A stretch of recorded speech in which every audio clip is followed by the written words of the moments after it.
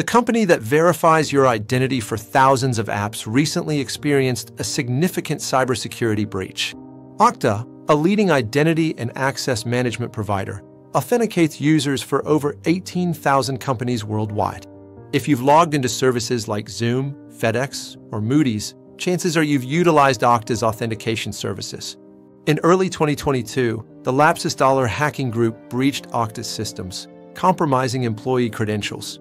This unauthorized access, lasting five days, allowed them into Okta's internal tools. These critical tools control authentication processes for millions of users across thousands of organizations. The breach consequently placed every single Okta customer at significant risk of compromise. Hackers gained the potential to bypass multi-factor authentication, reset user passwords, and impersonate legitimate users.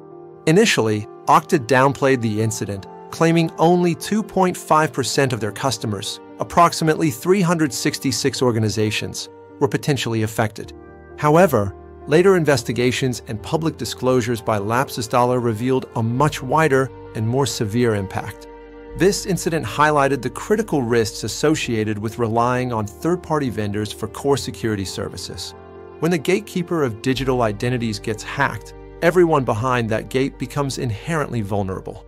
Okta has since taken steps to improve security, including terminating relationships with compromised subprocessors and implementing zero trust architectures.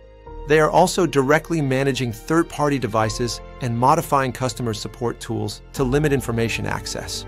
The Okta breach serves as a stark reminder of the constant evolution of cyber threats and the need for robust, transparent security practices. Is single sign on making us less secure by consolidating risk?